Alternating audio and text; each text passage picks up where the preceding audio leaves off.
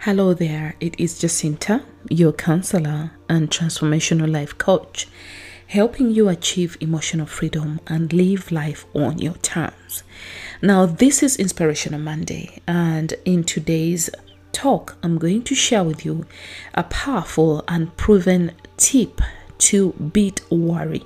This tip is has been proven to disorient and disempower stress and worry. And this is in celebration of the Global Worry Free Day that was founded on March 1st, 2014. So this year, we shall be celebrating three years of the Global Worry Free Day. And the intention of the Global Worry Free Day is to spare at least one day in a year whereby we focus on gratitude.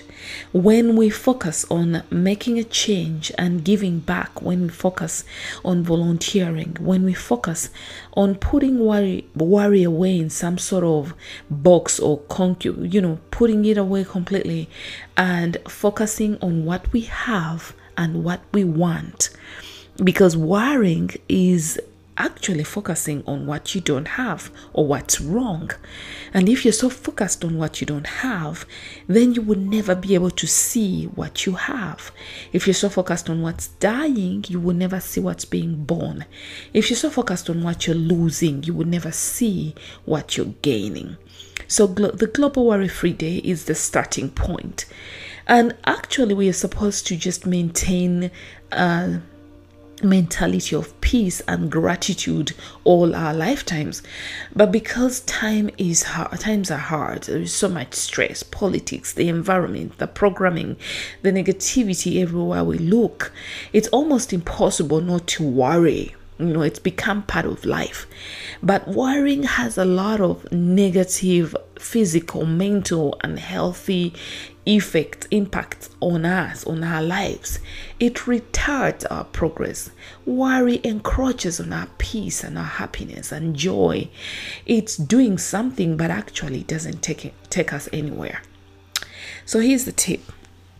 The tip is to understand that every time we get worried or every time we get bombarded by a challenge or obstacle, that challenge or obstacle tends to kind of seem like it has more power than us, that it's more powerful than we are. You know, the thing is that misery loves company. So if you are experiencing a challenge, that challenge, that energy in the challenge will present itself as though it's more powerful than you are because it wants to stay. Because you've tapped into it, you've invested into it, and it actually wants to stay. Because, like I said, misery loves company, negativity loves company, it loves to exist. But the issue about that is this the fact is that as long as you are experiencing something, you are the experiencer, and whatever you're experiencing, the subject is the experiencee. Now, let, it break, let me break that down for you.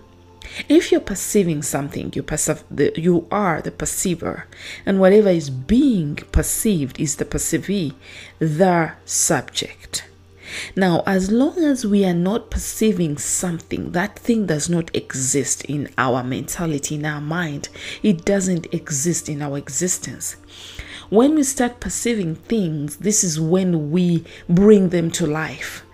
However, if your focus is on something else, whatever should happen, you know, whatever else that you're not focusing on does not exist in your existence, in your experience. So the tip is to choose what you focus on. The tip is to remember that you, as the perceiver of whatever challenge or obstacle you're experiencing, is more powerful than the subject that you're experiencing. It's like choosing to cry over spilled milk. Now, the milk or the fact, the act of spilling the milk is weaker than you who has perceived your milk spilling. So the moment you withdraw and disassociate yourself from the milk and the spilling and focus on how else you can get more milk or whatever is remaining in your refrigerator, your refrigerator to get more milk or buy more milk, organic milk, whatever else, means that you're more powerful. You have power over the milk and the very act of spilling the milk.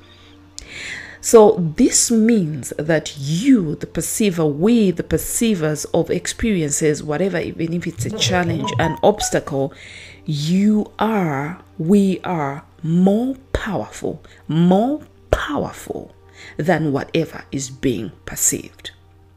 So, the good news is when we are worrying, we are focusing on something that stagnates our energy. Because worrying means that your energy is not flowing as it should in your meridian system you know in your internal energetic system.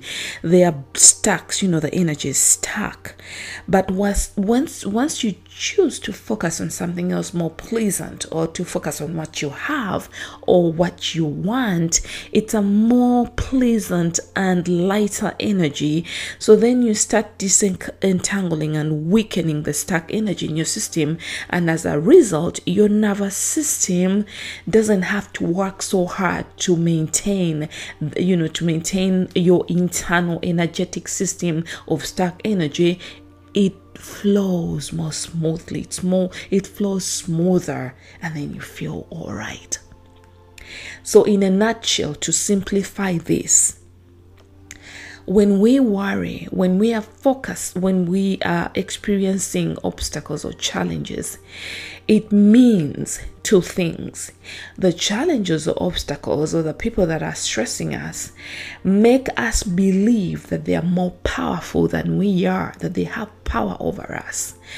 However, when you step back, you will get to realize that because you are the, the perceiver, you have power over the subject that is being perceived.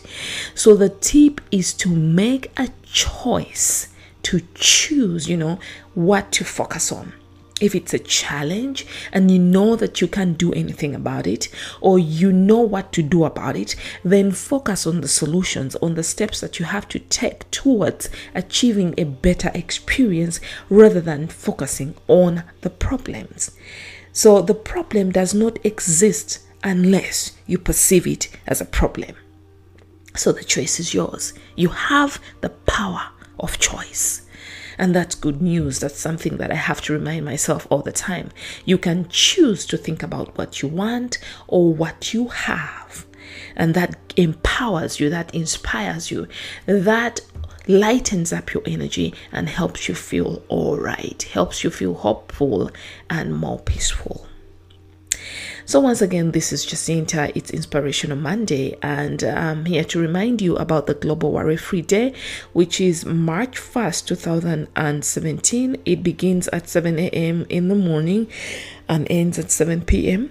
It's a 12 hour worry free fast. It's a global worry free day. So, wherever you are in the world, regardless of your time frame, just use that time to detox of all the worry, to refocus and turn your focus on something that you want or something that you can do to make the world a better place or leave the wood pile higher or focus on gratitude or reach out and volunteer. This is the day that reminds us that we are powerful and we can choose what to focus on and include in our experiences. Now, in the interim, I'm sending you God's love and light. Thank you for listening.